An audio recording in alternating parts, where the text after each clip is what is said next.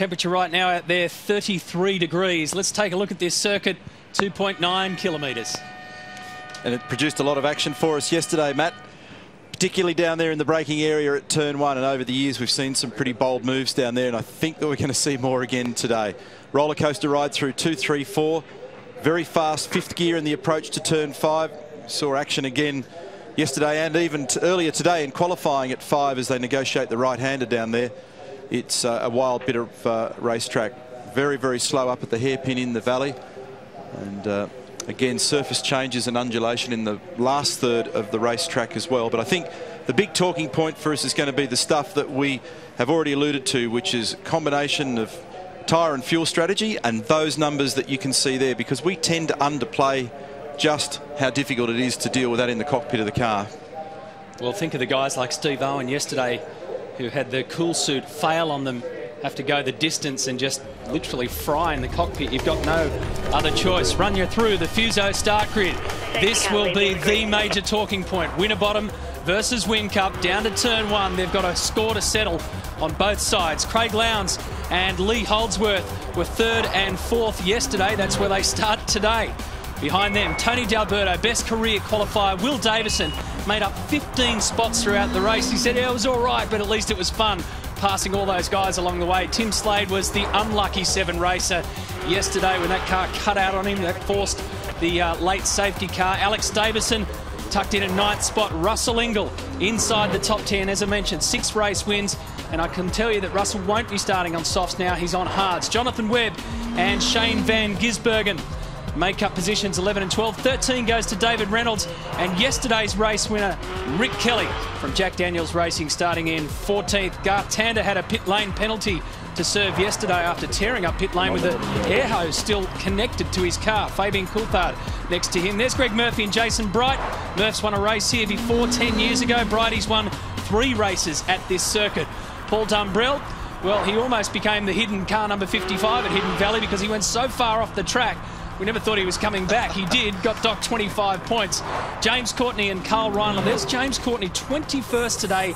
He's 13th in the championship. He needs to get a hurry along in the points. He doesn't need me to tell him that. Todd Kelly and Warren Luff, and then Dean Fiore and James Moffat make up 25 and 26. And interesting to see these two guys down the back of the grid. Steve Owen was 10th yesterday in the race. Jason Bargwanna finished 8th in the race. And they're on the last row of the grid. So the interesting thing for this start, we know there's history from Whincup and Winterbottom from yesterday, but Whincup has chosen to put the soft tyre on at the start. So has Lee Holdsworth. They're on position two and four. Look for those two guys to get this jump because they should, on soft tyres, be first and second at the first corner. No doubt they'll have tons of pace and that's going to dictate the way in which this plays out in the initial phase. The other point that we needed to make at the end of that grid read there, Matt, and this I find an ex extraordinary figure. 0.7 of a second covering 1 to 28 after qualifying. Don't forget if you are out and about today, you can catch Sevens coverage on your Telstra Next G mobile. If you're into your V8 supercar racing, you don't want to miss a moment, get all the news and views and information, then Big Pond Sport is the destination. So that's a, I mean, I just, you know how easy it is to be on the wrong side of the timeline in this business mark. You make one incorrect move in the cabin of the car, adjust the car incorrectly. Steve Owen's going to start from pit lane. I got a tip about that earlier on, given the way things worked out in qualifying for him. They're going to play this a little differently.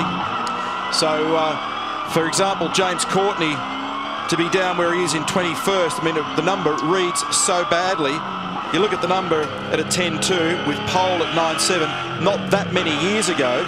Sometimes you'd strut around the pit paddock feeling pretty good about being half a second away from pole. Well, you could be two, you could be on the second or third row based on that.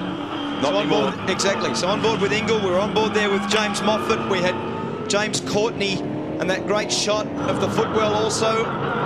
Paul Dumbrell. So we've got so many of these runners today covered from the front of the field, Whincup and Winterbottom. Winterbottom's teammate, Will Davison. So we will bring you all the action from the front and the back of the field based on who we've got on board. And remember this guy on the front row of the grid yet again, starting on soft tyres. What are the soft tyres? They're grippier, they're faster, but they'll go away faster as well. one other little thing to consider, and we've been throwing up so many scenarios, I'm sure that many of you are reaching for the Panadol. but here's another one. Panadols, please. I wonder how far they'll choose to run for those that have got the softs on at the moment. So if you did what Mark Larkham showed us on the whiteboard before, and you do that thing where you basically look at the race in reverse, and you sneak the first 8, 9, 10 laps out of it, and you take those softs off, keep them for a rainy day. Might be a while up here, actually, before that happens, but you keep them for later in the race, just metaphorically speaking and uh, maybe you could redeploy those again later in the day. That's another thing we have seen done on occasion. So that's yet another of the cards that can be played out of your strategy bag. Everyone in pit lane is saying this is one of the most strategic races of the year. Unfinished business for both Winterbottom and Whincup. How will this one play out? And let's not forget that Lowndes and Holdsworth are behind them. D'Alberto and Davison tucked in in the third row of the grid. It all points to action aplenty here at Hidden Valley. The tearaway down to turn one could oh. well be the most fascinating race we've had, and Mark Winterbottom has absolutely nailed him off the start. Whincup on the softer tyres couldn't get it going. Now that is extraordinary. So Winterbottom down there. Oh dear, they're four abreast again. Holdsworth is going to take it wide around the outside and lead them through. Now, if you wanted a real nightmare, it would be to have softs bog it on the line and then waste their value in the early laps having to pass so many cars. That's now what Jamie Whincup faces. And can you imagine already, Frosty will be saying, Winterbottom will be saying, I'm going to make sure oh, that I do Murphy. everything I can to keep him behind Murph. And James Courtney get tangled up. Now, Steve Johnson almost stalled. He jumped the start slightly, so it'll be interesting to see what the officials say. He jumped the start slightly and then bogged down and almost stalled the car. So his penalty has almost been exercised by where he is in the field. Steve Johnson is way down. David Reynolds and Garth Tander coming together.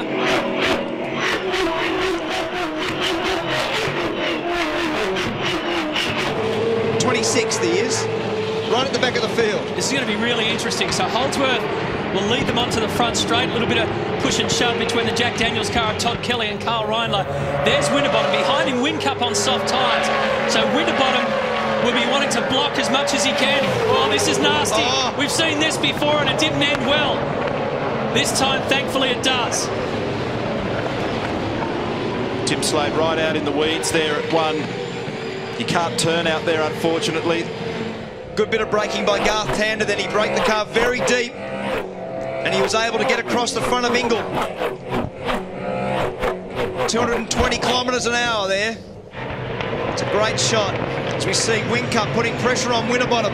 As Neil said, you can't afford to, sorry, Whincup putting pressure on Will Davison, but you can't afford to have the soft tyre on and then be back in the field like this. You basically waste the soft tyre in terms of your total day's effort.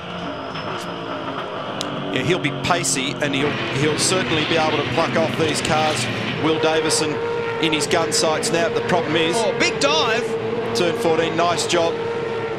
That uh, you spend a lot of energy trying to recover the ground. Driving eyes forward, front bar one more if you can take it. That's to protect the rear tyres. So next mark is his teammate. Yeah, you waste a lot of energy basically getting back to where you should have been a few minutes ago. And that's the frustration. But that, that's how it is. He's got to basically concentrate now on what he's got. Holdsworth's out to 2.7 seconds. There's the comparative. And uh, just bogged down for Jamie Whincup and swamped immediately by Holdsworth, by Winterbottom, who was alongside, and, well, everybody. Yeah. Started to do a roll call. And have a look at this. This was Steve Johnson. And both both the Jim Beam cars got away terribly. That was James Moffat right at the back. But up further was Steve Johnson. So for those guys, a very difficult start. Now, Whincup made a poor start yesterday. With the soft tyre on, the cars are sometimes harder to get away because the initial grip is higher. So he bogged the car down. So you saw Mark Winterbottom with a little bit of wheel spin, which was a very nice start. Whincup's start was very average. And this is played perfectly for Lee Holdsworth on the soft tyre, who can go out and control his race, knowing that Winterbottom's not going to round him up, knowing that Lowndes isn't going to round him up. Whincup's the next in queue on the, on the soft tyres, and there's still a couple of cars in between him. He'll get past his teammate here, no dramas. So this is free space, if you like, for Lee Holdsworth. These laps, he can just run away and post fastest times. So Whincup Oh. with huge speed. Lowndes drops the right rear off on the exit of one there. Meantime, the margin 4.1 Holdsworth to Winterbottom. Based on what happened yesterday, I can't imagine Mark Winterbottom making it an easy passage, even though Jamie's got a lot of car speed with the tyres that are on his car at the moment. So the real winners and losers on the first couple of laps of this race. Garth Tander, seven spots he has gained. And Steve Johnson, obviously the biggest loser, 18 spots he has lost. It's interesting that we're on board with Mark Winterbottom then, and he was also launching off the turn six hairpin from uh, first gear, as we saw Whincup doing yesterday. Here's the dive, turn 14. So carbon copy manoeuvre. Actually, was much easier than I forecast. So that's back. Let's get in rhythm. Let's uh, make these last and punch us a good lap. Mark Dutton on the phone to Jamie Whincup. And like you were saying, Croppo, so how much has he had to chew away at those tyres to get that position back? Four laps on the soft tyre fighting through. Well, a fair bit, Matt. He's actually given away five seconds to Holdsworth and used the tyres harder. One quarter of its life. If we, we're all saying 20 laps is about the number, effectively gone through one quarter of that to get to this point. So Lee Interesting. Holdsworth started fourth, and he controls the race.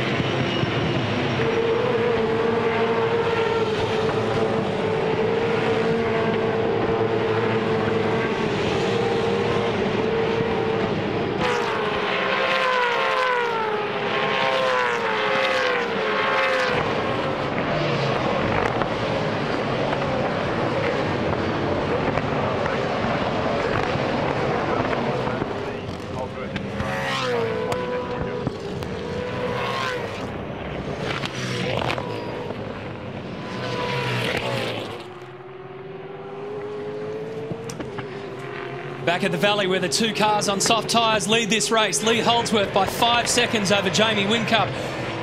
Third and fourth. It looks as though it's going to get a little bit tight and a little bit pushy between Winterbottom and Craig Lowndes.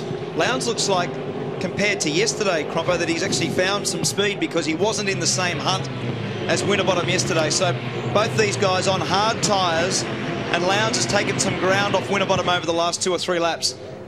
Well, three guys that were leading the race yesterday had a, a market leap in speed over those around them. So Holdsworth now will check the gap for you. Last time through it was 5.3 seconds to Jamie. There's the gap. And it is now 5.3 seconds. So nothing much has changed there. 10, 5, 9 for Holdsworth, a 10, 8, 5 for Whincup. Neil, I spoke to both those teams out in front just before the race about why they went for the soft tyre option. It was funny, it was two different reasons. In Holdsworth's case, quite cleverly, they thought hot temperatures up here, 25 laps at the end might be too much for soft tyre. They're basing that it's going to degrade too much at the other end of the race. So they're going to put themselves in a bit of a safe zone. In the case of Vodafone Racing, they've just really put a bet each way. Said that's the way we want to do it. No particular science either way. And I said to Craig Lowndes, mate, I'd rather be sitting in your car. So let's see how this plays out. He agreed with that comment. The thing that we've made reference to, which you did on the grid there before, though, Larko, as well, is that the mathematical fact here over the years is there's a 60% chance of the safety car. The problem is if that happens in line with that uh, occurrence rate in the past, all that you're doing out there on the softs at the moment is just getting rid of one of your advantage cards. But weird things happen in this business and uh, the last thing we want to be able to do is forecast it. So let's just see what unfolds here. Shane Van Gisbergen's been doing a bit of hard work. He started in 12th. He's up to 9th. He's been quite aggressive with his moves. He got a good run then onto the straight and down the inside of his teammate and only just, he just got that done. Alex was quite nice to him on the approach to turn one. We saw lots of drama there. You can see Ross Stone in the black, Jim Stone there in the blue, and they would have been saying, oh, I hope that doesn't end in tears here with two of their lead cars off the road. Always stressful, and that's one of the reasons that Vodafone will have gone one way with soft tyre and the hard tyre for Lowndes is to actually separate the strategies of the cars. Garth Tander, as I said, has gained, he had a, a really fantastic first lap, a great start, and has gained eight positions. Yeah, 15th to 7th on board here with Russell Ingall. They rolled him out initially, or there was talk of him going out initially on the soft tyre, but they ended up rolling him out on the harder tyre. Mixed up with his old mate, Tim Slade, and uh, down the order at the moment in 11th and 12th. So just for your your own understanding of the soft tyre versus the hard tyre, so far Holdsworth has set the fastest time of the race with a 10.33. The next fastest time on a hard tyre is Mark Winterbottom with an 11.38. So just over a second faster is the current difference. Now, anybody that was going to do what Mark Larkham showed us in the beginning, which is work from the back of the race, get yourself to a point where you can fill from here, stop one more time, fill and get home. We're in that window now. That opportunity is basically now, thereabouts. We'll see whether anybody does that. Don't think there'll be too many. Well, the problem is you can only do that if you've started on hards, basically, because at the moment you haven't used enough fuel to be able to sit there for long enough to put four tyres on. So if you come in early, it's a pretty quick fuel stop, and with a pretty quick fuel stop, you can only put the two rear tyres on the car. And the reason Mark's saying that is that clearly you've not burnt terribly far down from your full fuel of 75 litres and so returning it back to full again won't take very long at the flow rate of 4 litres a second. And, and, Neil, I'm actually with you on that. I actually don't think a lot of people will do that, but that, that is the point. It's a fascinating element to this race. We have seen that strategy play out very often this year. It's won races, but throw the soft tyre into the mix. Oh, oh that's an enormous That's a tyre failure. From Jason Bright. Oh, he started to commentate halfway through that spin. So that's a that's a massive engine failure. And and there's oil down there everywhere. And Courtney off the road. Ryan Lewin as well. There will be oil everywhere in that. That, that will have a one metre wide Look at the oil there on that stripe down the road. No wonder they're all off the road. That is a, an immense amount of oil. Yeah, basically for the duration of the braking distance. So right at pretty much peak revs in top gear for best part of 150 to 200 metres. The Team BOC car has absolutely lunched itself all the way down there. Safety car, I would say. I'm think. Well, where he is, well, yeah. It's hard because it's it's parked oh, off. Oh, oh, oh, oh, there's the leader, and he made it in. Oh, only well just, done. Only just. He had to skate around there. Yeah, they'll all look for an alternative line down there now. They'll be driving in weird places. Yeah, like they are, exactly, on cue. So down the inside of the oil is where Mark Winterbottom and Craig Lowndes were braking in the braking zone. And over on the left-hand side, we can't quite pick that up. Oh, there's Ingall out of control. Has he made it? He's made it. Well done. Oh, oh! straight off the road goes Rick Kelly. So Safety car boards and flag, safety car boards and Yeah. flag, safety car stand standby. I'm, I'm surprised that call was as late as it was because uh, someone was going to do what we just saw there and find the oil and then spear off towards a parked car. Watch this enormous blow. Bang. That's where it goes. And from there on, oil everywhere. for the, the amount of oil there is just unbelievable. The amount of speed that he kept carrying, too. I mean, that car just went forever. Now, does, do they come in? Lap 11? Yeah. and what do you do? Do you put the soft tyre on in the middle and you get a yield? Do you? I, mean, I, don't, I don't know. I, seriously, Holdsworth and Whincup are in. So we said at the start that this is a very interesting race. This has just spiced it up. Okay, so the two leaders coming in. They've done 11 laps on those soft tyres. So they've got to put four tyres on, so hard tyres. Cars coming at us. Yeah, just to make the point there, you can't split them. You've got to use one or the other. And that means that for both these guys, they've got life in those tyres that they could utilise later in the race. And I made this point right at the very beginning that that is a possibility, Holdsworth kept his position against uh, Whincup. but lost his margin. Yep. Main ground for sure. So there are about 20 cars in pit lane. Yeah, those that haven't at this point, Will Davison, Paul Dumbrell, Fabian Coulthard, James Moffat, four that haven't pitted.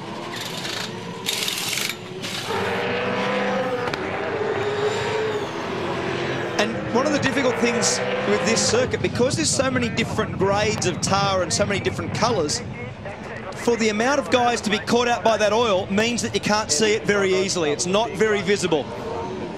It certainly had an impact. The Pettis safety car out there. We'll grab a quick break.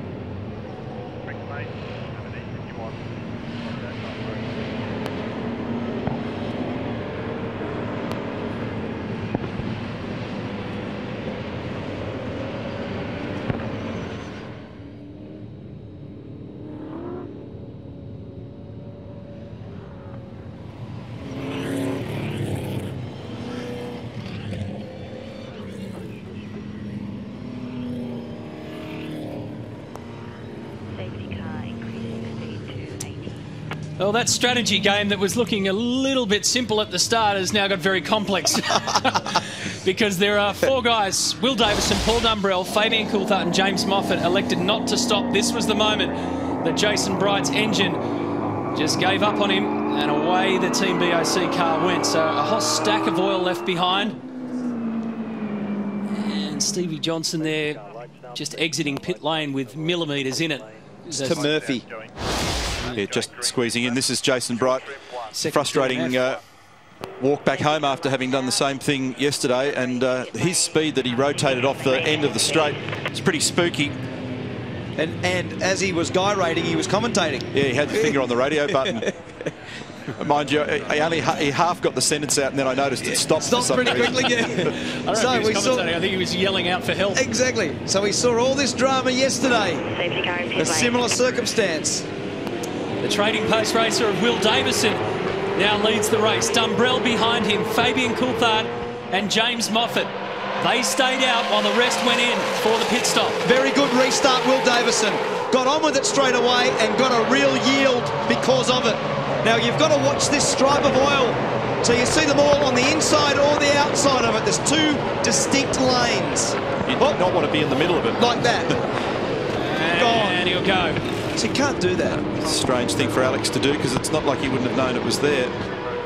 So Alex Davison goes off. Will races off in front.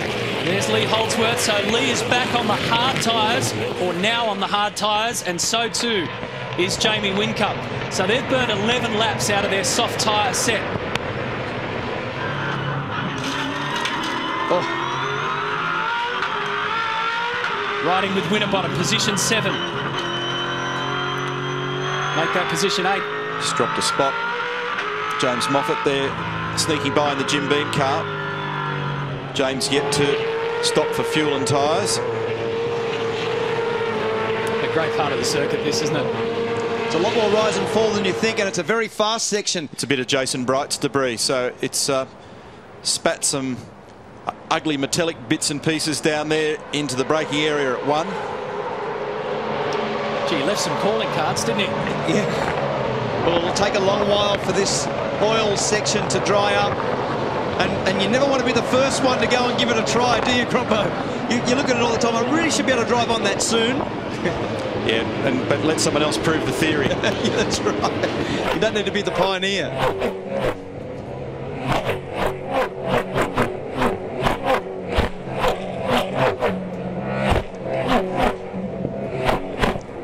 This is another section where the rise and fall, Neil calls it the roller coaster, but it's a fast right and left in fifth gear as we see Jason Bright walking back. He's been walking for 20 minutes. Yeah, it's a long way down there. At 270 kilometres an hour, it disappears under your feet fairly quickly, but when you're on your feet, it's a completely different story. Very frustrating considering the run that Jason's had in the last couple of race meetings. A brilliant run in Perth and at Winton, northeastern Victoria. It's come to a sad end this weekend, unfortunately, but I'm sure he'll bounce back. They've got some speed in that car. Guys, I stood at the end of the pit lane there. Greg Murphy appeared to me to be the only guy that put a soft tyre on in this centre section of the race. So I just caught up with Barry Ryan, his team manager. Said they, a bit like Holdsworth earlier on, he wasn't prepared to put a soft tyre on with 30 laps to go at the end of the race. There was a safety car there, didn't think it'd go the distance. Plus, he said had to try something different. Understand that. Um, Neil, good call of yours. I think this option of putting the soft tyre back on, when those tyres come in, they're probably about 105 degrees centigrade. If they can put them in the shade now, get them back down to 30 or 40, I talk about baking the cake, that'll cure them just nicely. You might get another reasonable run out of them. Oh, Lucker, you still believe in Santa. Where's the shade?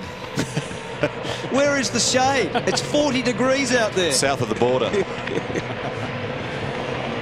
So the timing monitor has now officially updated that fact that Greg Murphy, the only guy out there on soft tyres. So we'll watch Murph start to pick them off. Jason Bright, the longest, loneliest walk here in Darwin. Mate, uh, I like you, but we should stop meeting like this. It's um, becoming a bit much, but yeah, uh, yeah.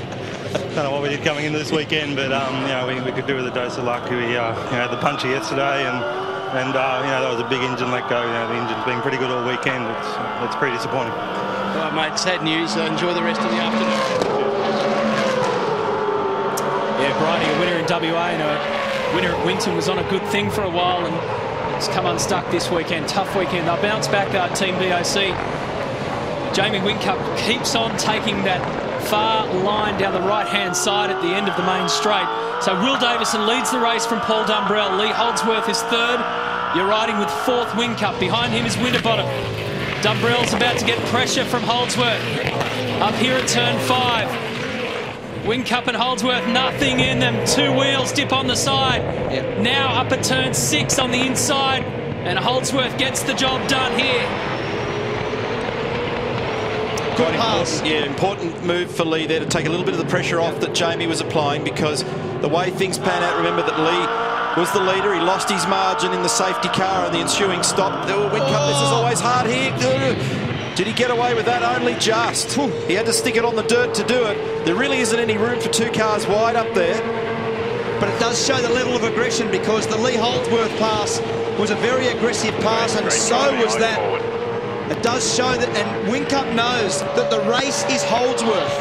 That's right. He's the one that's got the ideal spot at the moment. This is Lowndes. Murphy starting to power through the field now. He's at least half a second clear Or in terms of lap times with that soft tyre underneath him. Garth was in. Uh, the, he was in the, s- the spot. Zone. Lowndes parked him on that alley. Yeah, you can test it out for us. So David Reynolds is the next target for Greg Murphy. This is this move, such aggressive move. I don't know where he got the track space. I mean, he created it on the grass, but Whincup made it stick. This is from the rear of Holdsworth's car, and as you can see, used almost half a car across the grass to be able to give himself enough room to not make contact. And Paul Dumbrell did a pretty good job also, I think they both did a very good job there. because to not have contact, Neil, this was extraordinary. We've seen some big incidents up there over the years. So let's watch the Pepsi Max crew car number 11 start to push its way through the field on lap 19 of 69. It was certainly a committed move by by Jamie. When you make a move like that, where you basically you shoot everything you've got and there's no pulling back, you really got to hope that the other guy's going to play the game with you because if Paul was belligerent and just went, I'm going to be another half car width further to the left, that is going to be contact because Jamie's so fiercely committed. So it's a, it's a beautiful move, but but uh, a lot of risk involved. Just looking at some relative times for Greg Murphy, the fastest time he's done on this soft tyre is a 111.8. Remember, Lee Holdsworth and Jamie Whincup went into the 110s quite easily, 110.3 and 110.5 when they were on the softs. Traffic's playing a part here. Coulthard and D'Alberto in front of Murph, who's in his 399th Australian Touring Car Championship race today. It's a great record. He's been a very competitive racer for many, many Oh, years, he's oh. given Coulthard a little love tap at turn seven. The difficult part for Greg is, as you said, Matt, the traffic determines your speed in some ways. So the nice, clear track that you need for a soft tyre to get the advantage is clearly not there. Well, that's why he was so aggressive. He knew that he had to get Coulthard out of the way, otherwise he's just going to chew up those tyres. Murphy is on the move. Will Davison leads the race here at Hidden Valley as Lee Holdsworth has a look at him.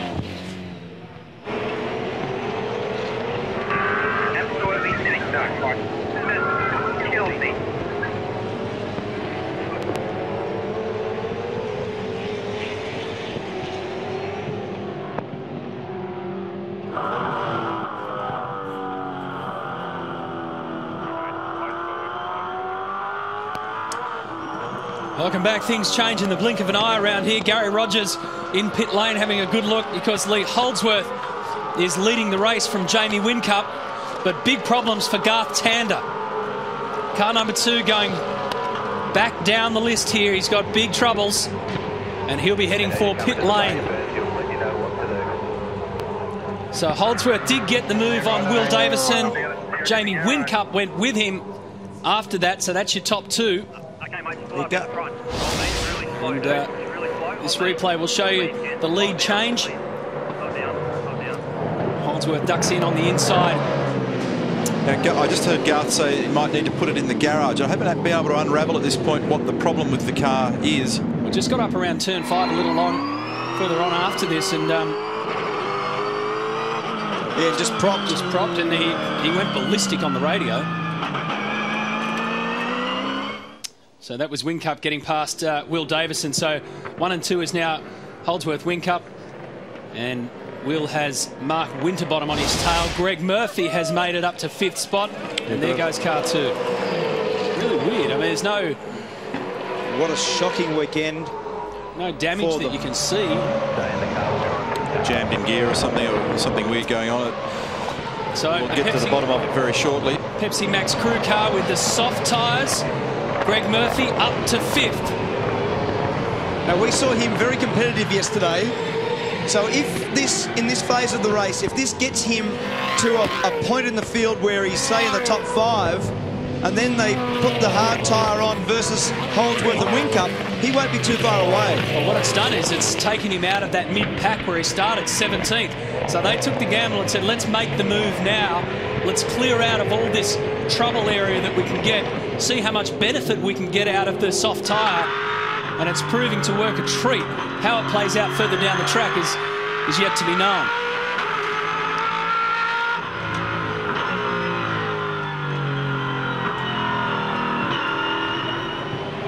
So the two teammates battle for third and fourth position. Will Davison still hasn't come in for his pit stop, so he's in effect not really in third position. And his tyres are older, so relative to the guy that we're looking at through his front bumper, he's going to be struggling a little bit more, Will Davison. So Mark Winterbottom should have a little grip advantage, and he does and uses it. Under brakes into one. And they're still separating that oil track down at turn one, so clearly it's still slippery. And as we said before, you don't want to be the first to give it a test, so they're just being cautious. Yeah, guys, I'm just trying to, sorry, get out of the way of the boys here in the HRT garage. They're in underneath the front left of Garth's car. Apparently there's been some contact, I'd say some steering damage or front left suspension damage. They are bitterly disappointed down here because after a really tough weekend, they're very much thinking of their fans. They reckon the chassis balance was good, Garth was in good shape, they had good tyres in the bank, so they are really down and out. It was a weird one because he came out of turn one and just going up through the roller coaster, he, he, he basically slowed down Larko and then come to a halt before turn four, cruised around turn five and then reported to come in. So quite strange in, in terms of what that breakage was. Greg Murphy now up to fourth position just by Will Davison. Murph's times that much better than probably equal right now. Now, Skaifey, just want to clear up a couple of matters. Firstly, mate, I do believe in Santa Claus because I reckon you're going to buy me a beer, open your wallet at the bar tonight, so there you go. Secondly, those soft tyres that came off both those cars, I noticed they didn't go and throw them in the tent or the truck out the back. They've got them nicely cooling in the shade at the back of the garages. Just baking up, mate, so watch this space. All right, Larko. Uh, Richard Holway just asked, while you two were rabbiting on, uh, Lee Holdsworth, what were the stickies like? And Lee thought about it for a minute, came back and he said, I reckon they've got another six or eight laps left in them. So what Richard Holway's doing at the moment, he's sitting there looking at his strategy document. Oh, Slade, Reynolds up the inside. That's six. So he's sitting there wondering whether or not he can use them as a playing card for later in the day. So he's thinking about. Uh, see, Skaifey, that's funny, isn't it? I was just in talking to Richard, saying, mate, what are you going to do with those sticky tyres you got there, mate? Put them in the shade. There's Richard. hey, this has got drama written all over it. This little pack here: Dumbrell, Slade, Reynolds, Steve Johnson, Russell Ingall, and behind them Michael Caruso. If they all get away from this unscathed, it'll be a miracle. One of them in that pack there. I didn't see exactly who had a big lock up into the last corner there, right in the middle of the show. Yeah, it was Michael Caruso. Last time around, Greg Murphy's time on the soft tyre was a 112.6. Jamie Whincup's time on the hard tyre was a 111.9. And when Will Davison comes in, they're also likely to make a rear roll centre adjustment on that car to calm the back of it down. It's a little bit too oversteer. It's hurting the rear tyres too much at the moment. So you also see the difference in styles and the difference in the way the engineering groups go about these setups and the technique in which the drivers use. So the way that the Vodafone car makes the first part of the corner fast, two different lines at the top of the hill there, very classic line for Lee Holdsworth, wide entry, classic line, and Jamie Whincup uses a very narrow entry and maintains the corner speed by using the front of the car very efficiently. So it's James Moffat, by the way, just rejoining there in the Jim Beam car. And Richard Holway saying there's 15 to go on these tyres. So Lee Holdsworth and Jamie Whincup will be doing all they can to, to drive the car as straight and as good as possible to look after these these rear tyres. On the subject of looking after tyres, Greg Murphy's last lap was 13-1. It may have been traffic affected, but I think he's actually already seen the best out of his softer tyre. So those around him on the harder tyre are actually quicker on that last lap at least. Well, some in front, some behind, so he's Here's, sort of tipped over the edge there. So Whincup now on the inside of Holdsworth at six. Puts Whincup in the lead of this race. Uh, the only guy yet to stop is Will Davison. So Paul Dumbrell in the bottle entry for Rod Nash. That's done. So there's uh, those four cars that are out of sequence. This is Russell Ingall down the inside of Steve Johnson at turn one. And wheels locked. Bang, bang, bang. David Reynolds. David Reynolds on the outside was caught out as the innocent bystander. Michael Caruso in the middle of that. So Ingall started it. He bumped. Johnson bumped Dave Reynolds. And off Dave Reynolds goes in the Stratco Commodore. Uh, Courtney, the teammate to this man on screen, is 19th at the moment. Will Davison in now that the lane's clear at Ford Performance Racing, so that cleans up all cars to have stopped. Here he is. Uh, James Courtney, the point I wanted to make there, he's 19th at the moment, and he's complaining bitterly about poor balance with the car. And the poor balance that the guys talk about is either understeer, which is not enough front grip, or oversteer is not enough rear grip. And most of their complaints in this style of race in these conditions comes from not having enough rear grip. The car slides around too much, and HRT guys have been complaining about it all weekend. This has been a pretty lively battle with Ingall and Caruso. Now, Grant McPherson, engineer for Will Davison, just said we're going to do the full stint here on the hards. So that means he'll empty out the fuel tank from this point. I'll do those numbers for you in a moment. And then he said it'll be a short stint on softs. So they'll play the soft tyre at the end. And uh, so we'll have to watch that. That could be very effective because they've got it's a pretty short window. The only thing they've got to be careful of is the precise moment they choose it. If they leave it to be too narrow as an opportunity, they won't have enough track time to be able to climb over those that they've given track position to. And then conversely, if they go too early, you burn the tyres burn. The tyres. So Ingall holding off Michael Caruso. Credit too to Tony D'Alberto, who's maintaining his position inside the top 10. I'll run you through the 10 while we're at it. Jamie Whincup from Holdsworth, Winterbottom third.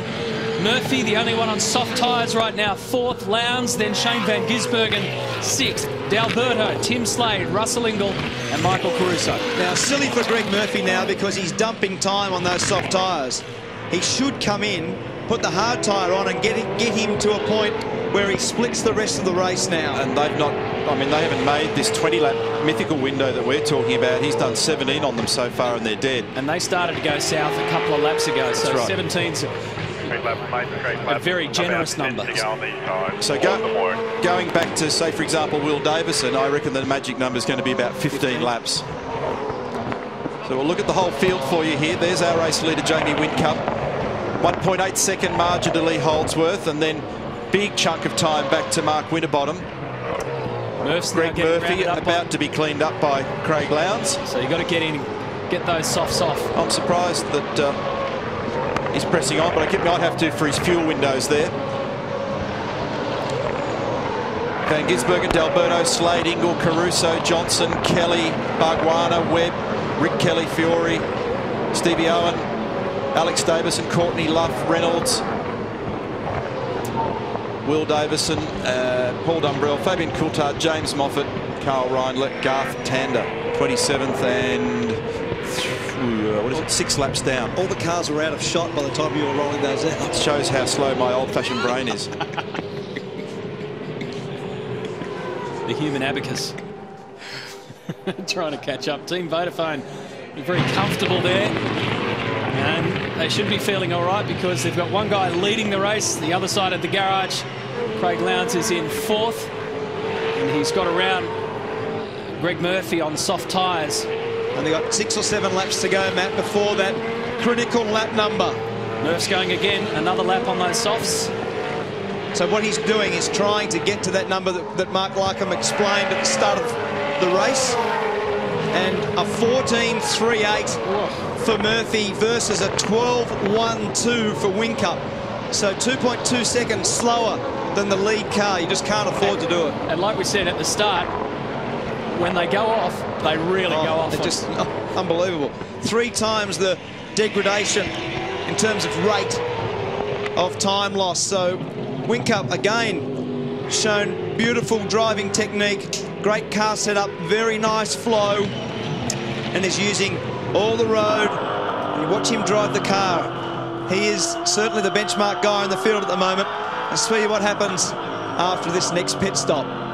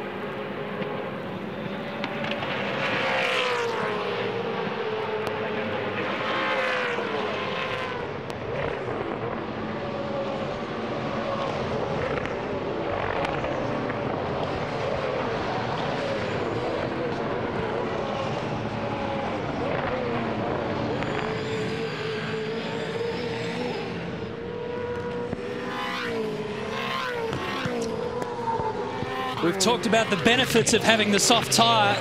This is the flip side of what's happening to Greg Murphy right now. It's, it's working in reverse. He's starting to go back through the field because all the grip out of that tyre is gone.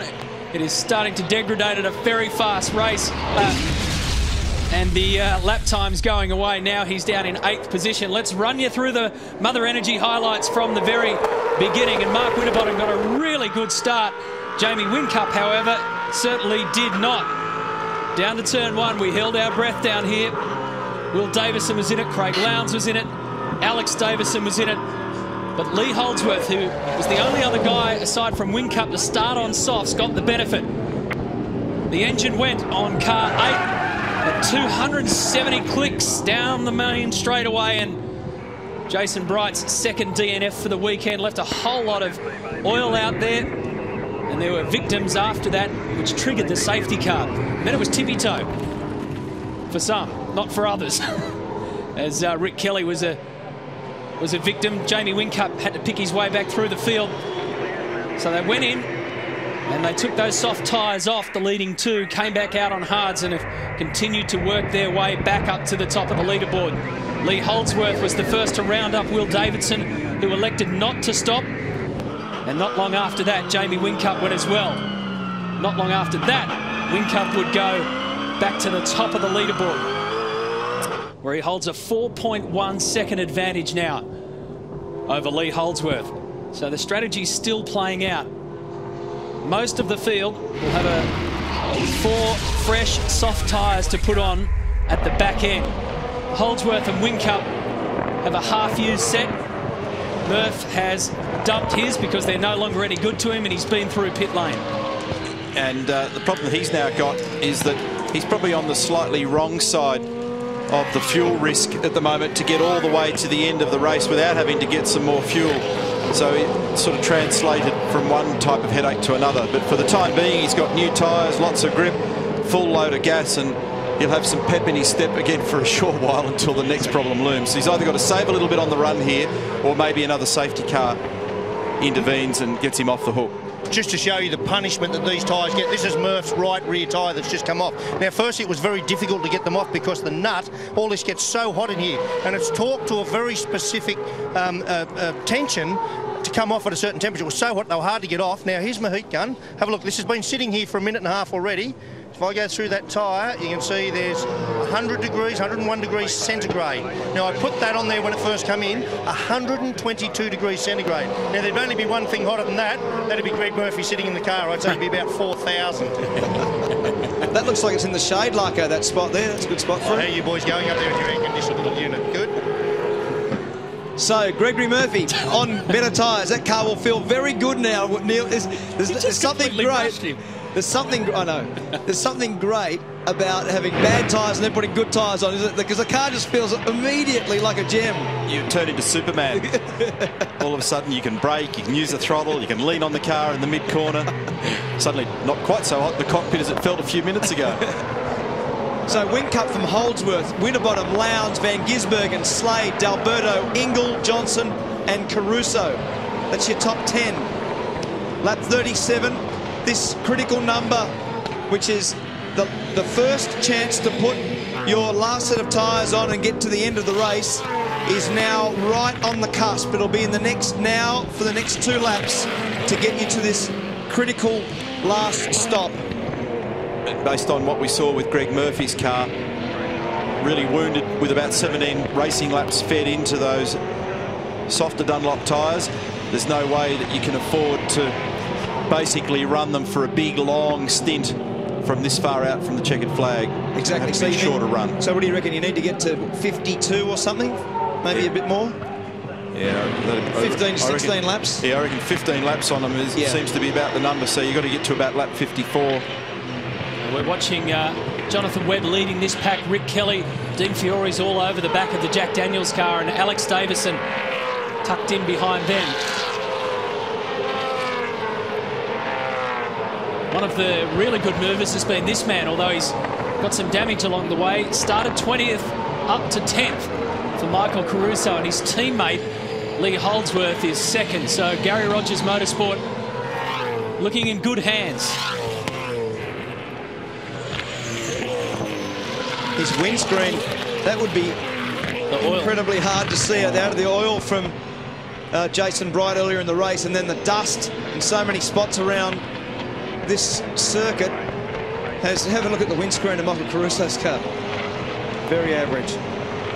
So you see the amount of grip on the outside of those curbs now at turn five and turn six, where the rubber's gone down on the painted concrete and the guys are actually purposely driving the cars out over those curbs to land on the on the rubber.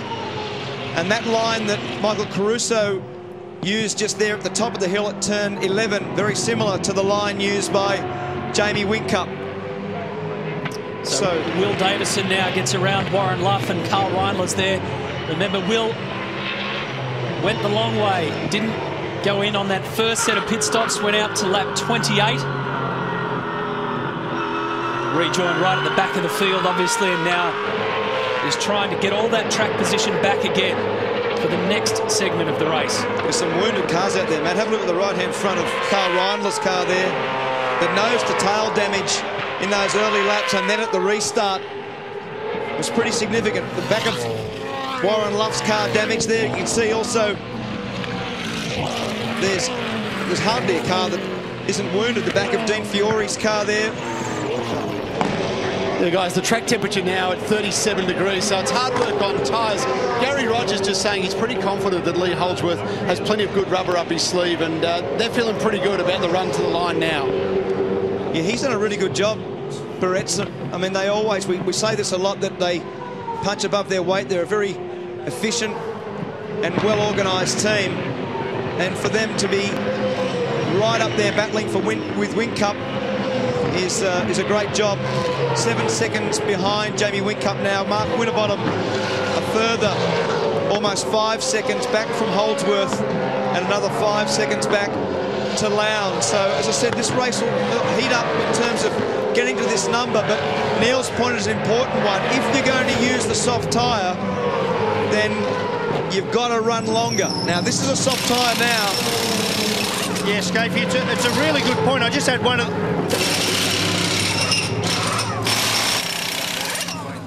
Keep going, Larko.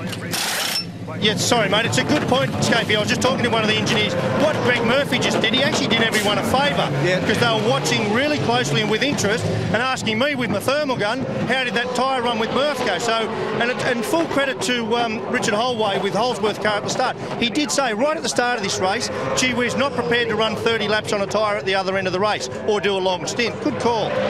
Now they know. That's that's the point, isn't it? Now they know because Murphy was the test case that 15 laps and then she starts to go south on you. For sure.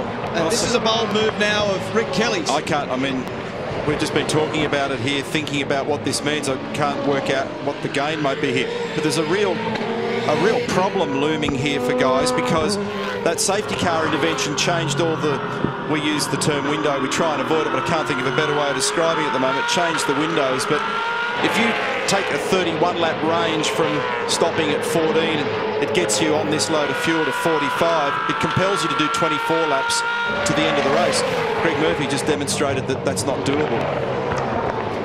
And even the the Triple Eight guys that probably have been the best on the soft tyre in recent times they're saying 20 laps is sort of the threshold. So we see Rick Kelly with a very long run and other guys will be wanting to get to this sort of 53, 54 number.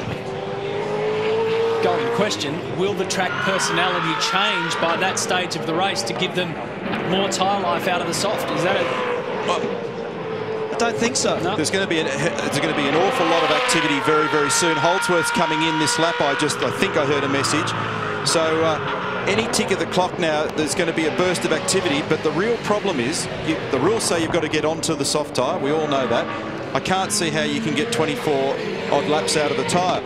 So we start thinking about those that have got to, are in a different position here. So those four that were the odd men out early on that have taken a little hit out of their tyres in a different sequence, they might be able to play this card a little differently, but I need to work some more numbers to see how that's going to work, but it's it's fascinating. But I think over a longer run now, the harder tyre would be, if it's a 20 or 25 lap run, the hard tyre will be faster over that period of time.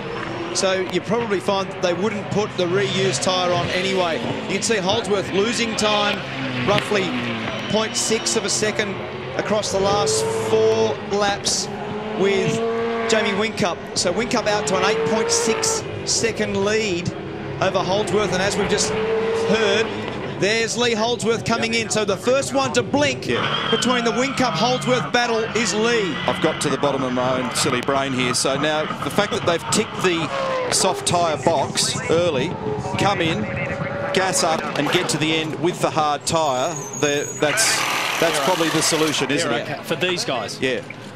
And the hard tyre now over a longer period Yeah. definitely got Which is what you were saying. I just needed to think it through. Waiting on fuel. You'll be ready to roll. Oh. Just a little bit. So both in.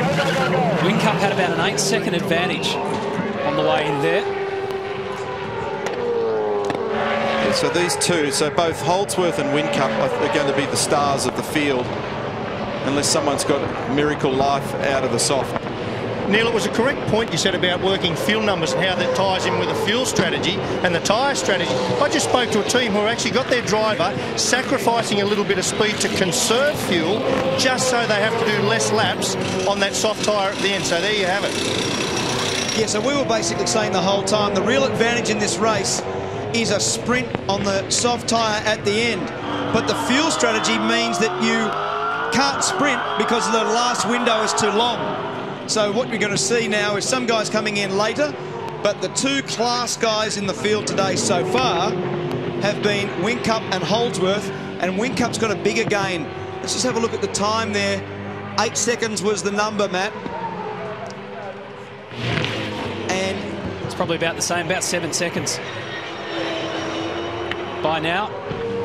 So the gap has sort of remained the same. So the critical thing for these guys Car 88 and car 33, they've already ticked the box in the regulations that says you have to use four soft tyres throughout the Yeah, course that's, of this that's race. the really key part of the statement. Everybody else is finding themselves in a position now where they're boxed in to having to pluck them off the rack Yeah. and do a huge stint or face another stop, which is a disaster. that's right.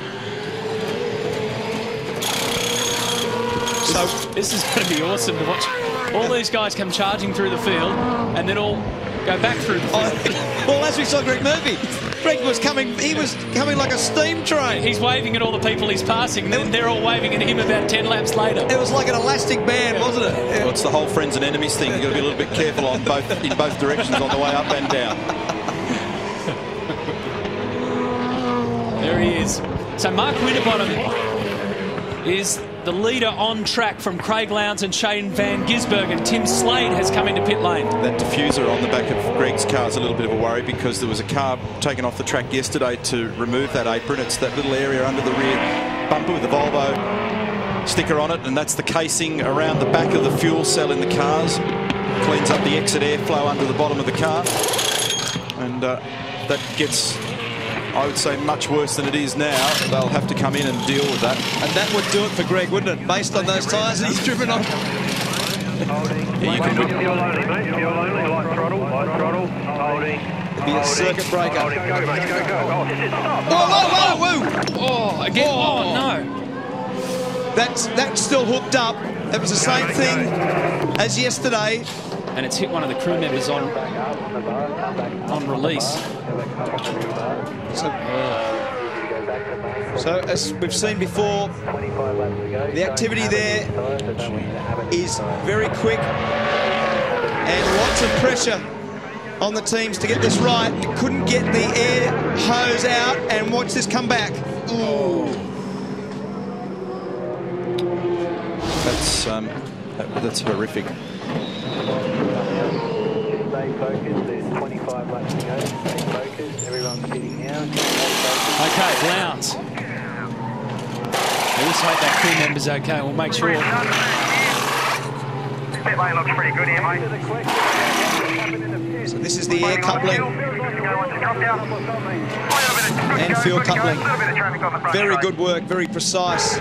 So the minute the car flinches and that air coupling has got tension on it, you can't release it off the spike. That's right. So it's got a little collar on it, and uh, you put a little bit of side pressure on it, it won't come off the spike, and that's what happened before there with Todd. And the way it flicked back, that's an awful image.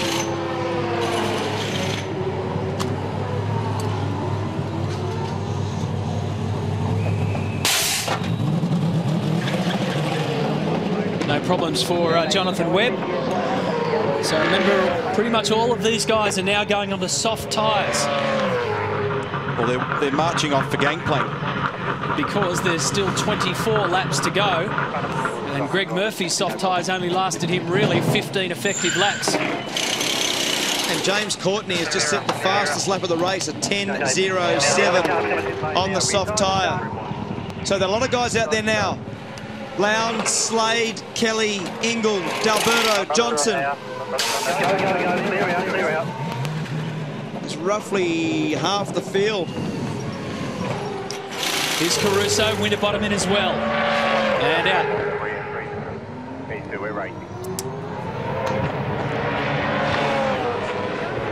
And of those cars on soft tyres, it's basically everybody from Lowndes backwards. Lowndes is eighth. And everybody further back in the field trying to get a yield late in the race on the soft tyre. But as we've said, it's a very long... Uh, oh, Todd, problem front uh, left. The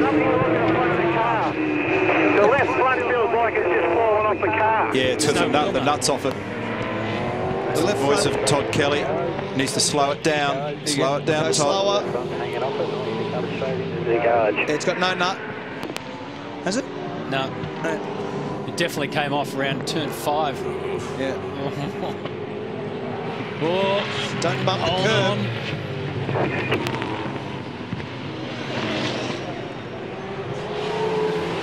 So remember, it was uh, Todd that we saw in the pit lane there. He's done a good job to get that back. He has done a good job to get it Okay, there. so just nice and slow, we're going to get you to pull up out the front. I don't know how he's going to get through here, though. We've seen cars crashed in there before. In fact, Craig Lowndes come to a stop in there in one of the years where the car was basically just wedged in that pit lane entry. So done, Todd Todd. Kelly now, there's Mark Larkham on standby. And the wheel nut is off, I think, Larko. You're right, mate. The nut is off. There's a little retention system. Well, as you can see, there's absolutely nothing holding that on there. That was well driven to keep that on the car, which is unusual. They have a little retention system on a little spring that the nut shouldn't be able to come off. So something has gone pear-shaped. But I was just saying earlier on, I mean, the temperatures that these are operating on now, um, things aren't as per normal. I saw in that, all of those pit stops, a lot of teams battling getting nuts off. So what we just got some vision then, Larko. It looked like the captive nut has actually come out of the wheel. Actually, it looks like it's machined Yeah. itself in half. Maybe the wheel wasn't on the pegs properly. So, yeah, have a look at that. This It's is it actually coming off. machining itself up. Here, look, it sliced itself in half. It's actually, Strange, isn't it? yeah, it's mm, very strange. And normally when that happens is you always get a lot of damage to the left-hand front hub. So whether the car can actually have another wheel put on it, who knows? Jamie Whincup leading this race from Will Davison and Lee Holdsworth.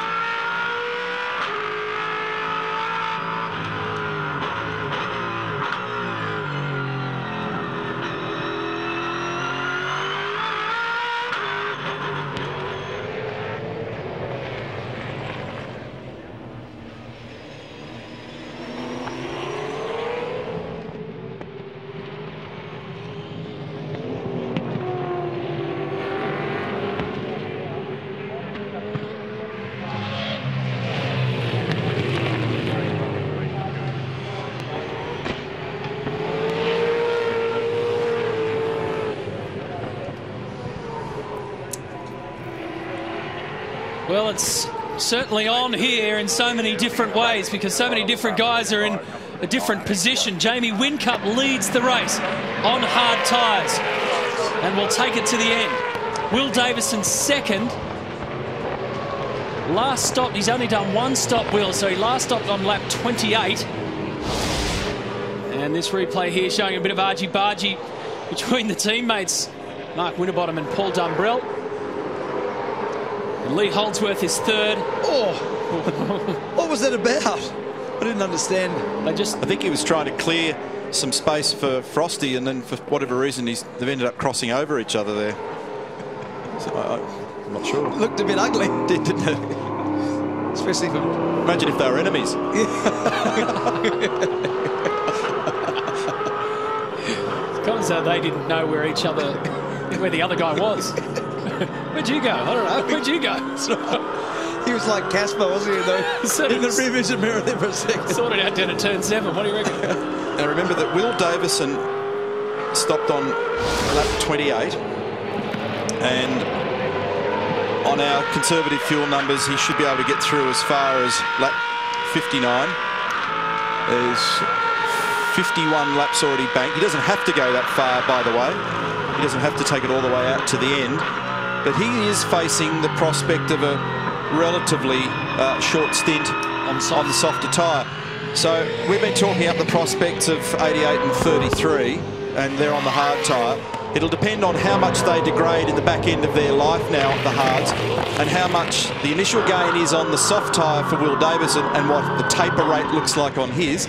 But he's a factor. And remember, when he comes in, puts those tyres on, he's going to drop all the way back down the list again Yeah, just that's right. and starts have to make it up again. So the interesting part about this is that we said before that Lowndes on the hard tyre was relatively better than yesterday because he was reasonably close to Winterbottom pretty much all day. The interesting part of this is that over recent events, FPR have really struggled. The Factory Falcons have really struggled on the soft tyre. And Winterbottom now is on the soft tyre versus Craig Lowndes. So this is pretty lively. These two, as Lowndes has a dive in the middle of the valley at turn five. Turn six is got that done, and out he comes. Will Davison now in. Now Neil's talking Will stocks up because there's basically 15 laps of a short sprint tyre run. There's the soft tyre. And this is essentially what we were talking at the start of the race as the best way to optimise your overall performance. James Moffat's in the same bank. A little bit further back. He's going to come out at the moment. We'll, we'll be 16th or 17th, maybe a little further back. Yeah, he's got to do 17 laps on these tyres, which is it's about the number, isn't it? Okay, so he's come out in the 18th spot. So, 18th spot, 17 laps to go on the soft tyre. He's 48 seconds from the lead. That's what he's got to make up. Well, uh, he's a fair chance to get onto the podium because he's got to make 38 seconds to get to Craig Lowndes. So, based on that, that's that's probably achievable against Lowndes because Lowndes will be on the soft tyre for a lot longer and will have a much higher degradation late in this race. But there's only 16 full laps to go. Yes. So you've got to start making it up at a rate of a couple of seconds a lap. But Lowndes came in on lap 45, so they're almost 10 laps older. As Caruso and Rick Kelly play Dodgem cars coming onto the straight. Both these guys are on soft tyres also. They separate so wide because of that oil down the middle of the track. And Caruso gets down the inside. Right behind is James Courtney. This is for position 12th, 13th and 14th in what has been a pretty hectic motor race. The amount of damage on the car is always indicative of how wild it is. And there's not too many cars with straight panels. As you can see the front of Caruso's car is damaged and the front of Tander's car, or Courtney's car, sorry, as he goes down the inside of Rick Kelly, turn six. So out of that little three part battle group that we're looking at, Michael Caruso's got fresher soft tyres and the other two, and James Courtney's got fresher soft tyres than Rick Kelly. It's uh, having a fair breathe, that car, isn't there? There's something there, with tyre smoke, with a lot of something going on at the back of it. Just on the numbers. If you look at the number of laps remaining in the race, for Will Davison to come back into play and be a factor, it's just under three seconds a lap gain, average. 2.93 seconds. Big number. Yeah.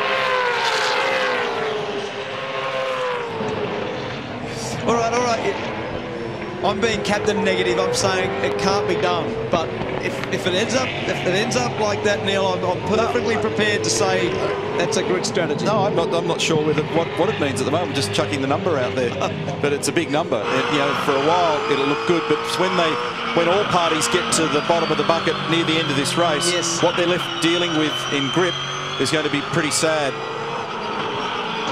Courtney's come back into pit lane. Yeah, so the last part of the puzzle is a safety car. If a safety car pops into the world, then anyone on a sprint tyre will be in good shape. However, That's a different argument That's a now. different one. Yeah. Now you're just picking fights. So Courtney's day is done. You, we saw it before, didn't we? It was mm. sending out all the wrong smoke signals. It looked, looked to me to be worse than tyre smoke when we saw that shot of it on the brow on top of the hill there. I can't remember a worse weekend for the Toll Holden Racing team. They have had a disastrous Northern Territory visit as we see Jamie Whincup. Yeah. Boys, I don't know if you can hear me. I'm just down under James Courtney's car. I don't know if we can get a camera shot in under there, Rick, but you can see the lower shock absorber mount. See where the shock absorber is in under there? Now that's broken off. I just spoke to Scott Sinclair, his engineer. They think it was contact, possibly with one of the Kelly boys. But it just goes to show when you're not on a roll, well, you're not on a roll, eh? So that um, bottom mount mounts off the diff housing. The diff housing's a very complex pieces of engineering in the cars. In fact, it's one of the biggest differences between car to car throughout the field. And there's three or four different mountings on the bottom of the shock absorber mount, which changes the effective ratio in which the shock absorber works. So you can stiffen or soften the way the action of the shock absorber works on the bottom of the diff housing. And it's broken that mounting where that adjustment is given. So, as I said before, Wink Cup driving the car really nice, very, very smooth. So Whincup last lap 12-0, Holdsworth 12-1, Lowndes 10-8. Now uh, the first two are on the hard tyre, but we're starting to see we're, we're entering that phase for some where there's big fluctuation, big fluctuations in lap speed due to tyre condition. Just keep an eye on Will Davison's lap speed. He's past the second sector on this particular lap. He's 15th in the field at the moment. A 110.5 that time around for Will Davison. So that's one and a half seconds. And we were talking just under three seconds required. For the amount of laps that he had left. So the good part of the story is for someone like Will Davison, who we're seeing incredibly good lap speed from. Conversely, we're seeing really bad stuff for Rick Kelly. You made the comment when he first put these tyres on, last lap was a 12.9. Yeah, I, I was a bit unsure as to what they were thinking there with that one. Lowndes now on Holdsworth. Lowndes has the soft Oh. ty- tyre. Holdsworth doesn't. A little bit wide for car 33. And Craig Lowndes will go up into second position now. So the gap between him and his teammate is 4.7 seconds. So this will be interesting too. 12 laps remaining. Craig has done 12 laps on this set of soft tyres. His teammate is 4.7 seconds up the road. And we might be making one oversight here in this discussion, back with Will Davison, up to 14th now. That was uh, Dean Fiore that he passed last time through. That's, it's not uh, impossible that someone might get better tyre life. Now, if you cast your mind back two years, I know it's a long time to Perth, Craig Lowndes did seemingly impossible on some soft tyres there. Oh, this will be the oh, safety no. car. The safety car for Reindler at the top of the hill. This changes the game. Now it's anyone's game. Oh, this is a dramatic moment in this race. This is going to be a very big impact. No question about this for Karl Reindler. Oh, This was uh, another chassis for Karl this weekend, the third in successive race meetings. That's 200 kilometres an hour the cars make up there in, in the approach to turn 11. so race control, no doubt, about to activate the safety car.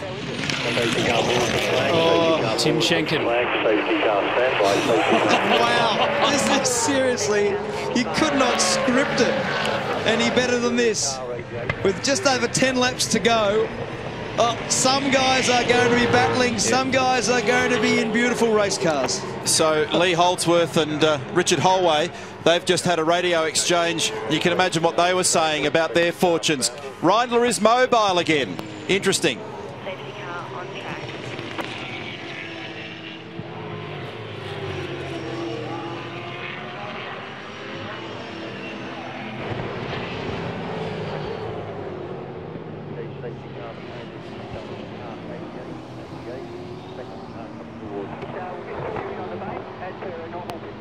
Safety car received.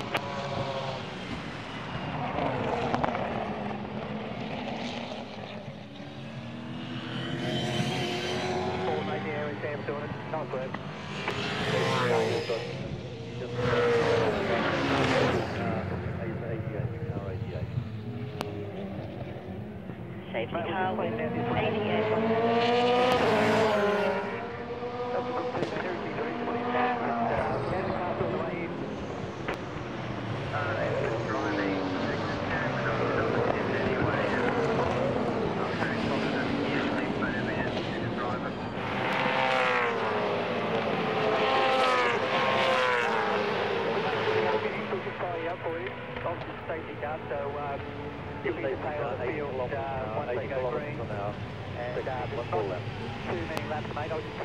Safety car going 80 kilometers an hour. Expecting one more lap.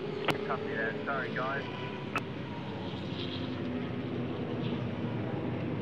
No problem, mate. Looks like we've all, uh, yeah, you're good to go now, mate. They're giving you the all clear, so you fire up. Just uh, nice and steady, mate. Nice and steady.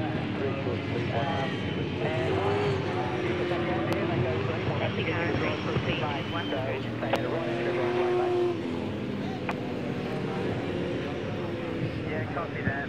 Yeah, like I said, the car just literally just grabbed neutral. And then the extraction onto the, uh, onto the front stop and onto the passenger there.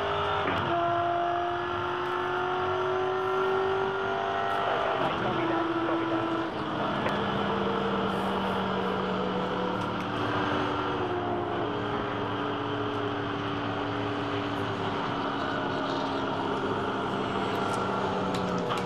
Well, these are nervous times for everybody here at the circuit. Pit lane race control. If you're in the cockpit, right around the circuit at home supporting your favourite driver, well, let me tell you, whoever your favourite driver is, chances are he's in the race. Because courtesy of this safety car, it is going to be an enormous sprint to the finish. While the Pettis safety car is still out there, I'll run you through the scenario. Nine full laps to go. This is what triggered it. Jamie Whincup leads the race. He's on hard tyres. Craig Lowndes second. He's on soft tyres, but they've done 15 laps. Mark Winterbottom's third. His soft tyres have done 14 laps. Lee Holdsworth on hard tyres is fourth. Then Van Gisbergen, Slade, Ingall, D'Alberto, Davison, Johnson, Caruso, Bargwanna, Rick Kelly are all on soft tyres that have done a stack of laps. Will Davison's 14th with the best set of soft tyres out there. The question is, does he have enough speed to mow through the field in the space of what will now become eight laps in a race to the finish? Does Jamie Whincup have enough on these hard tyres to hold off this field? Extraordinary. Oh dear. So this restart will be ultra important. Not only that, they've got to get past turn one again. Yeah, yeah, exactly. Well, that's right. but that, that's perhaps the, the really important part. So cleaner exit off the final corner today versus yesterday for all. And in terms of pure speed, Will Davison's clearly the one to watch. He's got the best set of boots. Down to one they go on the restart. On lap 62 out of 69, Lowndes goes up alongside his teammate. Remember, Lowndes on the soft tyre. But sooner or later, they'll start to fade away. Can he do the impossible and make them work for him? He hits the race lead. Van Gisbergen pulls up alongside Lee Holdsworth. Everybody's a target at this restart. Winterbottom saw the race vanish in front of his eyes yesterday. Can he get it back today? Now, Lowndes and Winterbottom have got to make their soft tyres do 24 and 23 laps respectively. They just got a breather, but that is still an awfully long way to ask those tyres to run. A little bit of contact there for Lee Holdsworth. He got a tap from Russell Ingall. Greg Murphy's back in this picture as well. How's Lee Holdsworth's luck with this? Those older, hard tyres. He's not even in the battle now. He's got a huge target on his back, and they're just going to pick him off one by one. But the biggest guy to watch right now is Will Davison. Who has to make a soft tyre live for 17 laps. Much better set of numbers, but he doesn't have the track position. He's 13th. Even though the field's compressed, he's six and a half seconds off the lead on this lap. Gis Van Gisbergen now to third. He's on the soft tyre. Whincup's on the hard tyre, used. Lowndes leads it by 1.2 seconds from Winterbottom. So the two guys going backwards are Whincup and Holdsworth. The only two guys on hard tyres in the top 10. And there's Davison down the inside of D'Alberto. Well, he's just got to go nuts. There's no no other way about it. He has got to go completely berserk to get to the end of this race. He's got the best set of tyres. What he needs is track position. And the lap counter is going against him. Look at the wall. There's a sea of colour in front of him. There's half a dozen cars of all denominations. and he's got to try and get under, over, round, inside, outside. It's a big job. And you know the guy that's looking strong is Ingall also. He's looking very good. Stopped on lap 45. So No. he's got to do 24 laps on his soft. And he's going better than Slade. Russell loves this circuit, So is Van Gisbergen. He looks strong. but it's been six years since Russell Ingall last won a race in the championship. Wouldn't that be something if he could get another race victory here at Darwin? That would make seven race wins at the circuit. The breather may have saved these tyres, you know. And Van Gisbergen has been very good on these soft tyres the whole time. And he looks strong, doesn't he? He's got by now. Up into second. His tyres are exactly the same in terms of the amount of laps they've done as the guy who's leading the race, Craig Lowndes. So it's Lowndes, Van Gisbergen, Winterbottom. All on soft tyres, pretty much exactly the same life they've had. Slade is fourth, then Russell Ingall. Jamie Whincup on the hard tyres going backwards. Where's Will Davison? Tenth. There he is, up He's into tenth. 10th. So he's climbing through them. But uh, enough laps left is the question mark. It's not many to the checkered flag. This is Michael Caruso in front of him for ninth. You can actually see the job that he's got to do. It's a great exit. That tyre will have more drive off the final corner. He easily plucks him off. Looking at the shift lights, grabs sixth, checks the traffic.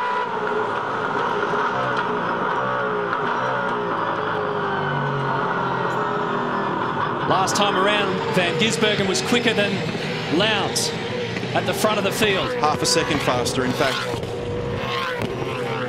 So Amazing, isn't it? with 1.1 second lead, Lowndes to Van Gisbergen. Van Gisbergen looks very racy. And, and clearly, the, giving them the little rest has given these tyres a, a- second lease of life. Well, remember yesterday, Shane Van Gisbergen was playing that card as well. He was holding on to his set of tyres for the end of the race. Unfortunately, got tangled up in that mess down at turn one. So has it come to play with the soft tyre here this time around? Four to go, mate. Van Gisbergen, Slade. Ooh, Fabian Coulthard. That looks like That sounded like someone oil. gone. That's Greg Murphy, who's rotated on the oil at the top of the hill. There's oil coming out of Fabian Coulthard's car, and that's caught Greg out. So there'll be oil around there when they go around next time. There's your race leader. There's second position. 10, 11. A little bit of oil there, mate, possibly. There's a car rejoin. Bring it down to the track, just be careful. So drivers being warned, as you can hear on the radio, about the oil that you just saw Coulthard's car leaving up the top of the hill. Van Gisbergen, Slade and Davison, Alex that is, second, third and seventh. So Stone Brothers racing cars well represented in the top 10. 36-year-old Craig Lowndes, three-time series champion, done the lot. And the 22-year-old Kiwi is trying to climb all over him and snatch this race victory. This is where the oil is, guys, so be real careful. Here they come. They tip Vito around there. The crowd goes berserk. This is awesome racing. He wants to make his move.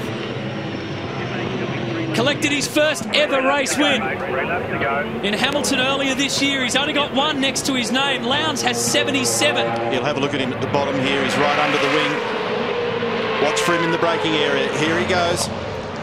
Lowndes doesn't cover. And here he is, down the inside. Very good pass, Shane Van Gisbergen. Side by side, Lowndes had to tap the brakes heavy. Ross and Jimmy Stone from Stone Brothers Racing start fist pumping. They can feel this one coming their way. Will Davison keeps moving up. He's now tucked in behind his brother. Will's in eighth. Two and a half laps to go. Van Gisbergen shouting, trying to focus, keeping the SP Tools Falcon pointed straight ahead. That tyre life would start really to feel like mushrooms underneath him now. Marshmallows, I mean. And look at the crowd. One of those. Wow. Oh, that cost Shane. That cost him. He slipped a bit on the oil. It took him out into the dust on the outside. Lowndes comes back.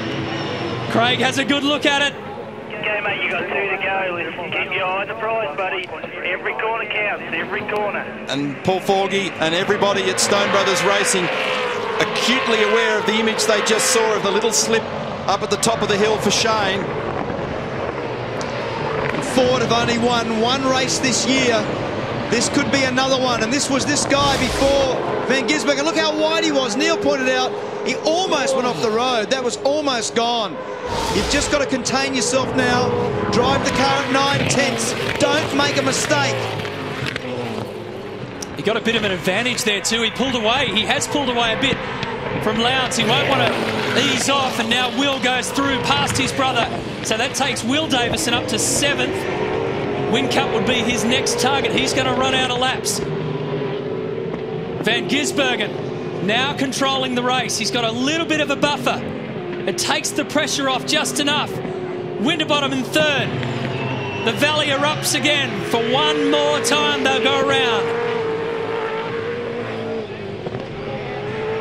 This young Kiwi, they've Wanted him to focus. last lap. Concentrate, every corner, make them all count, buddy.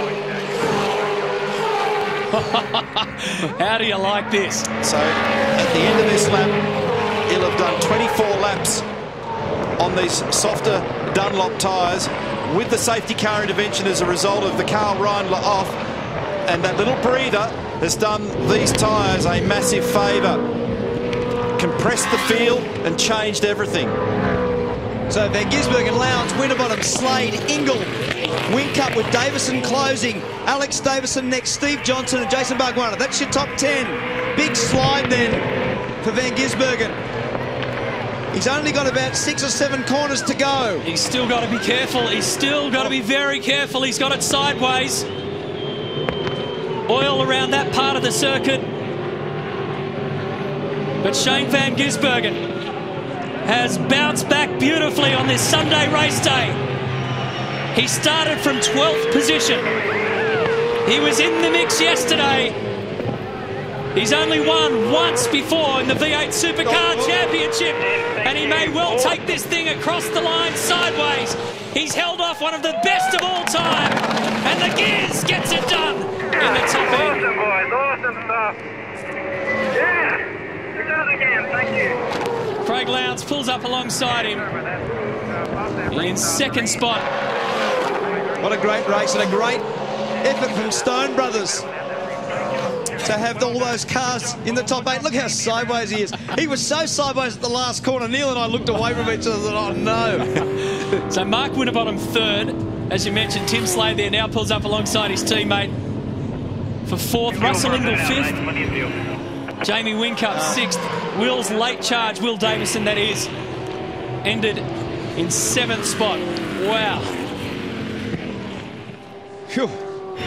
What a race. It's always a magic moment, Skaifey, when you can hear the crowd over these V8 supercars. Oh, it certainly is. There's not many places with a real amphitheatre, and there's two or three areas on this track. And as he's right out now sideways again, look at this. This is speedway action. And he's enjoying every moment. he drove so well at his home race in New Zealand to win. And today, another dose of Falcon victory And this is drifting in Shane Van Gisbergen style. It's pretty much like his last lap.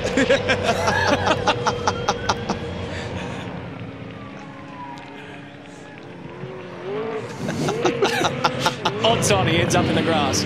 Oh, odds on those tyres again will never go on another race car. Yeah, hard to see them doing test miles on those, isn't it? And this is the amphitheatre I was talking about. It's such a great reaction from the locals. They love this event. Look at that. Fantastic. It's pretty easy to spin with these now, Cropper. yeah, that's a, that, look, it's all got the rubber. belts hanging out of the tyre. That tyre's totally destroyed. Oh, that's easy to spin there. Uh, well done. No, he meant to do that. Yeah, that's where he's going in. Uh, it's a uh, great result, and uh, they had a great test at Queensland Raceway prior to this event, since we were last at uh, Winton, and uh, another fantastic victory for Stone Brothers Racing and SP Tools with the Ford Falcon and Shane Van Gisbergen. So he had that taste of victory back in New Zealand. That was an incredible moment for him, and this one's going to be sweet too. So two Falcons on the podium. Great job.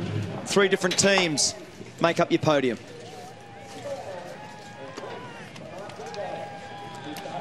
He won't be he won't be very excited when he gets out here, Matt. well done. And a great reaction. He's a young man with a great future. And again, a very mature drive today to be able to pass one of the best drivers of all time in Craig Lowndes. Now 22 years old, he got his first race win on the streets of New Zealand. And we mentioned that he was in the mix yesterday, but to hold off somebody like Craig Lowndes, Mark Winterbottom, to finish off that race in the fashion that he did, showed a lot of maturity Well done. and a hell of a racer. Well, Shane Van Gisbergen, congratulations. You got so close yesterday, you got it done today. Yeah, yesterday was a bit of a shambles. So to come out today, we had a bit of luck there with the safety car, but you know that was our strategy, what, what we hoped for. And yeah, I just I conserved my tyres, and then I could see Lowndesy and Winterbottom sliding a bit, and yeah, pick my moves and. Got the win. It's fantastic. Thanks to our sponsors, SP Tools, Citizen, Ford, of course, Fuchs Oil, and all our other great sponsors. It's um, very, very good day. Shane, you made Jimmy and Ross Stone very, very happy in the garage. They were thrilled with you. Oh yeah, it was just an awesome job, and those guys did a, a great job today as well. The boys, great pit stops, awesome strategy, and uh, another set of uh, smoked Dunlop tyres. And what was it like tracking down one of the greatest names in V8 supercar racing as you came towards the line? I wasn't thinking about that too much, but um, I could see he was in trouble with his rear tyres, and after I passed him, I didn't have much left either. But yeah, kept my head down and come away with the result, and uh, it's perfect for our championship. Enjoy the top spot on the podium. Well done. I will. Thank you. Craig Lowndes, uh, another great performance from Lowndesy. Two rounds and, and two podium finishes, Craig. That was some jewel in those last few laps. Yeah, it was, Barretts, and I think that the Stone guys normally have that strategy right at the end and looking for that safety car, and it, and it came to them. We uh, we were looking pretty good there for a while and uh, having a great battle with Frosty, and of course, uh, right at the end with that safety car, lost the rear a little bit, just didn't quite have the drive that I wanted. But uh, look, we're still uh, delighted to be up here on the podium, second, third yesterday and second now, so not too bad. It's good for your championship. Well, it is. It's uh, something we're just sort of trying to keep uh, consistent running now, and uh, of course, uh, endurance are coming. Skaifey and I are looking forward to it. Well done, Lowndesy. Congratulations. Nice, thanks. And Mark Winterbottom, boy, what a weekend. You've slaved away this weekend. You've made the podium. Congratulations. Yeah, thank you. Um, great re- reward for the team. We uh, two pole positions. She's got over one lap. We just got to tweak her a little bit on these soft tyres, but um, at least the Ford won. The right brand won today, and that's uh, that's important. Well, it's definitely heading in the right direction, Frosty. We look forward to Townsville. Well done. Yeah, bring it on. Thank you. Hey, Jamie Whincup, we actually thought you were looking pretty good there, mate. Looks like you got done over by that late safety car that let everyone's soft tyres recover. Yeah, thanks, Lyco. Um, hey, tough race, pretty hot out there, and um, it all comes down to strategy and safety car. And um, had a little bit of time in the sun there in the middle. We, we were looking pretty good, and as soon as I saw Karl go off, which he went off just a couple of metres in front of me, I thought, oh, that's uh, that's the end of me. But um, hey, hard battle towards the end there. We. Uh, Picked up a few points, but that's what hey, that's what this year's all about. Right tyres at the right time. Thanks, mate. Good to see you chin up. Well done. Great, cheers. So let's have a look at those results for you from race number 13 and a tight margin at the end between Shane Van Gisbergen and Craig Lowndes, less than a second. Mark Winterbottom in position three. Interesting to contemplate the charge for Van Gisbergen. He qualified 12th for this race to come through with the race win. Looking further afield, Dumbrell, Caruso, Moffat climbing up the field. Steve Owen, we saw him start from pit lane. Lee Holdsworth, after being a contender for a race win, finishing in 15th. And a tough day at the office for the Toll Holden racing team.